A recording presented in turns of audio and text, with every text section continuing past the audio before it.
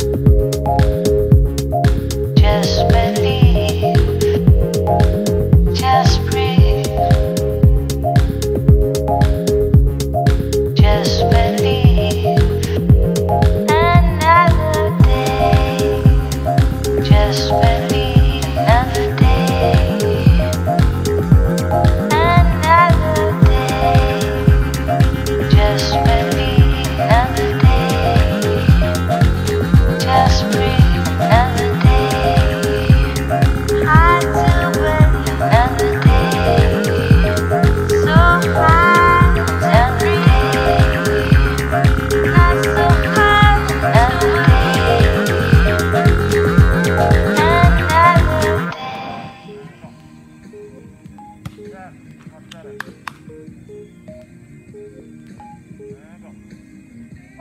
she warmed up again.